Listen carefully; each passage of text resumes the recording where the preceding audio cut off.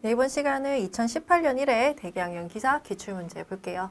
자, 문제 1번. 자, 바람의 종류 중 지금풍 그리고 경도풍에 관해서 서술하시오 나왔네요. 그리고 네, 각 바람에 작용하는 힘이 들어가도록 한다 그랬어요. 자, 우리 바람 종류는 지경지가 있었죠. 자, 지금풍, 경도풍, 그 다음에 지상풍이었어요. 그래서 우리 지금풍과 경도풍은 뭐였고 공중에서 부는 공중풍이었고 이제 지상풍은 지상에서 부는 거였죠. 자, 지금풍은 뭐가 들어갔냐요? 우리 기압 경도력하고 그다음에 전향력이 들어갔고 경도풍에는 네, 기압 경도력과 전향력에다가 원심력이 더해졌고 지상풍은 기압 경도력과 전향력에다가 이번에는 마찰력 지상에서 보니까 마찰력 요게 세 가지 힘이 들어갔죠. 그래서 지금 여기서는 지금풍과 경도풍을 물어봤으니까 요 힘이 들어가도록 쓰는 거예요. 그래서 여러분 보실 때 지금풍도 그렇고 경도풍도 그렇고 공중풍이잖아요. 그래서 여러분 어떻게 적어요? 네, 마찰 영향이 무시, 무시되는 상층에서 혹은 공중풍으로 그죠? 공중풍으로 어떤 힘이 들어가요? 네, 기압 경도력과 전향력 에 의해서 어떻게 된 거예요? 전향력이 뭘 할 때? 평형을 이룰 때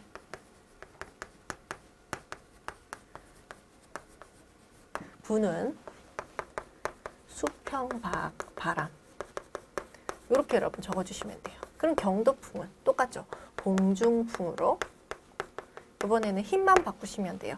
기압 강도력과 전향력과 원심력이 평형을 이룰 때 부는 수평바람 이렇게 적어주시면 됩니다. 자, 문제 2번 볼게요.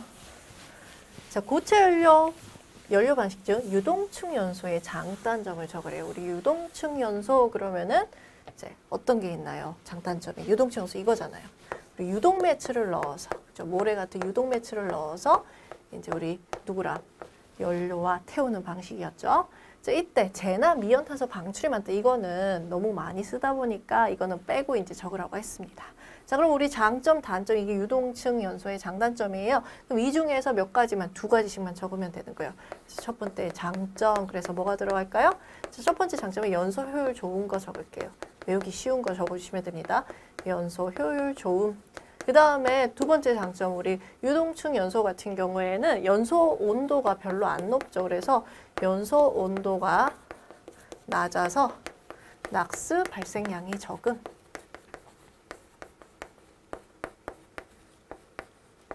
이런 식으로 적어주시면 되겠네요. 자, 그 다음에 단점 보겠습니다.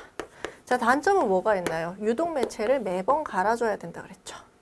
그래서 유동 매체를 매번 공급해줘야 되는 거. 그 다음에 이 유동 매체를 매번 공급해주다 보니까는 네, 비싸요. 그 다음에 또 세 번째 하면은 이 연료랑 유동 매체를 잘 만나게 하려면은 우리 어떻게 해줘야 돼요? 전처리, 파세나 아니면 압축, 아, 파세 같은 전처리를 통해서 이제 입경을 작게 만들어줘야 비표 면적이 커지는 거죠. 그래서 전처리가 필요하다. 그러니까 이런 식으로 여러분 작게만 적어주시면 됩니다. 그래서 이 중에서 이제 두 개씩 이렇게 넣어주시면 되겠네요.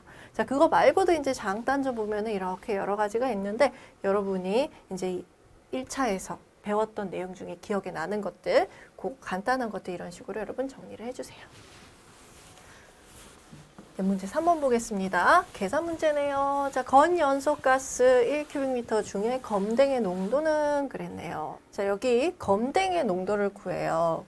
자, 경유가 1kg 있어요. 그죠? 경유의 이제 단위는 킬로그램으로 나왔네요. 자, 그 중에 이제 탄소랑 수소의 이제 퍼센트 나오고요. 그 다음에 공기비가 주어져 있어요. 그리고 검댕은 네, 연소하는 탄소의 1%가 검댕이 된답니다. 자, 그리고 요때 건연소 가스 1큐빅미터 중에 검댕의 농도는 그랬어요. 자, 그럼 지금 구해야 될 게 먼저 건연소 가스, 그러니까 GD 값을 먼저 구하고요. 그 다음에 발생하는 검댕을 네, 그램으로 먼저 구해야 되겠네요. 검댕의 양 그램으로. 자, 그리고 이제 요 GD분의 검댕의 양 계산한 거를 이렇게 다 이제 나눠주면 이렇게 여러분 우리가 구하는 검등의 농도를 계산할 수 있겠어요. 자 그럼 먼저 GD 값을 구하는데 자 우리 GD 어떤 걸 구해야 되나요? 자 일단 건연소 가스니까 가스 GD는 cubic미터가 될 거고 지금 주어진 연료가 킬로그램이 주어졌기 때문에 우리 cubic미터 per 킬로그램으로 구해줘야 되겠네요. 자 그러면은 요거 이제 cubic미터 per 킬로그램 나오면은 우리 어떻게 계산해요? 네 실제니까 MA 제로 그 다음에 건조 가스니까 마이너스 5.6H 그 다음에는 똑같죠 습식이든 그러니까 습가스든 건가스 똑같죠 0.75 플러스 0.8 N. 자, 만약에 습식이면은 여기가 플러스가 되고, 그러니까 습가스 GD가 아니고 GW면, 그 다음에 여기에 이제 1.244 해서 수분이 들어가게 되는데, 건가스기 때문에 이렇게만 써주시면 돼요. 자, 그럼 공기비는 얼마고? 1.1. 그 다음에 A0는요? A0는 이론 산소량을, 네. 얼마로 나눠줘야 돼요? 자, 항상 이제 건가스는 부피 기준이기 때문에 이제 0.21로 나눠주십니다. 자, 왜 그래요? 자, 얘는 우리 이제 뭐예요? 가스. 가스고요. 그 다음에 요 A0 단위도 큐빅미터 퍼 킬로그램이 되는데 요거는 이제 공기거든요. 얘가 연료고. 그러면 공기도 부피고 가스도 부피니까 어때요? 부피비로 나눠줘야 되는 거죠. 그래서 0.1로 이렇게 나눠주세요. 그래서 건가스든 습가스든 가스는 전부 다 0.1로 나눠줍니다. 자, 그럼 이때 이론 산소량을 또 구해야 돼요. 이론 산소 공식 어떻게 되나요? 단위가 자, 이론 산소량 큐빅미터 퍼 킬로그램 단위는 어떻게 구하나요? 자, 우리 탄소 자, 기억이 안 나시면 여러분 여기 연소 반응식으로 여러분 만들어서 여러분이 넣어 주셔도 돼요. 자, 우리 연료는 뭘로? 킬로그램으로. 그 다음에 산소는 네, 부피로 이렇게 넣는 거죠. 자, 그랬더니 자, 탄소는 12kg일 때 네, 부피 22.4큐빅미터. 그 다음에 수소는요. 2kg일 때 11.2큐빅미터예요. 산소가. 그래서 요거를 넣어 주시는 거죠. 그래서 우리 12분의 22.4 탄소 플러스 그 다음에 2분의 11.2 탄소인데 유효탄소 넣어줘야 되니까 이렇게 넣어줘야 돼요. 음, H 빼기 8분의 5. 그죠? 근데 요게 이제 여러분 자 요렇게도 쓸 수 있고 아니면 1.867C 요걸 계산을 하면 더하기 5.6H 빼기 얼마예요? 빼기 빼기 어, 여기 16분의 11.2 5 이렇게 돼요.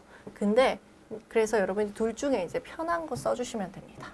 편한 거 써주시면 되는데 자 요거를 이제 여기다가 넣어 볼게요. 저는 요걸 넣어 보겠습니다. 지금 보시면 산소는 없기 때문에 연료 중에 요 두 개만 넣어 주시면 되죠. 그래서 1.867 곱하기 탄소가 85%니까 0.85 수소가 15%니까 0.15 이렇게 넣어 주시는 거죠. 자, 그 다음에 요 각각의 이제 또 봐도 연료 중에 산소도 없고 연료 중에 질소도 없으니까 네, 마이너스 5.6 곱하기 0.15 요것만 넣어주시면 돼요. 그래서 우리 GD를 계산을 했더니 값이 11.872호 나와요.